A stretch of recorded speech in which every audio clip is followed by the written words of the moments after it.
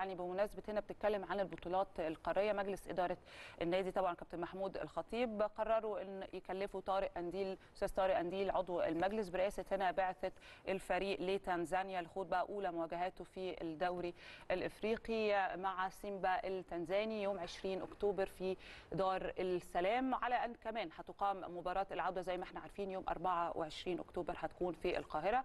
وأستاذ طارق حاليا بيقوم أكيد بالاطمئنان بقى على كافة الترتيبات الخاصة بسفر البعثة بالتنسيق الكامل كمان مع كابتن خالد بيبو. كل ما تل يعني تلزم أو يلزم البعثة من ترتيبات وأمور مختلفة طبعا وفي الأول وفي الآخر لتوفير كل سبل الراحة للاعبين وأكيد للجهاز الفني. بنتمنى ليهم كل التوفيق وإن شاء الله كده كده إحنا أكيد بنعرض لحضراتكم كل ما يدور لحظة بلحظة من كواليس أكيد على قناة النادي الأهلي على مدار اليوم كله في البرامج المختلفة. مختلفة